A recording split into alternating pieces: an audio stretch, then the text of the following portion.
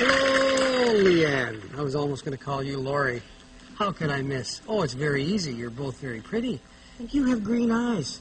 Blue. Are they? They're not blue. Now, don't tell me that. Look at me a little closer. They're green. See, I fooled you. I fooled you. Do you talk about getting married and having a family and things like that? No. You don't? What What do you do uh, when you're 11 years old for a date? Where do you go? What What, what are some things you do? We just walk home from school with each other. Oh, you walk home from school with each other. Okay, what category? Do you hand out kisses, Jennifer?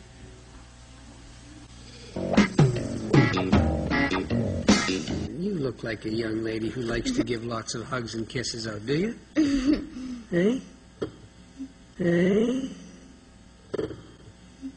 Not really. Not really. Not really. Can I have a hug and a kiss? I can't have one? Mm-mm. Even if I say and whisper in your ear that Allison, you're gonna win the show, I still can't have a hug and a kiss? Uh-uh. Well, I guess you can't win the show then. If I don't get a hug and a kiss. Yeah, you hear that? Yeah, you hear that? That's a good answer. Oh, you missed. Stephanie, which category for you? No kisses. Are you shy? A bit. Can I have a little kiss, please? Oh, that's me off the top of the show. See, she would get a whole bunch of right answers.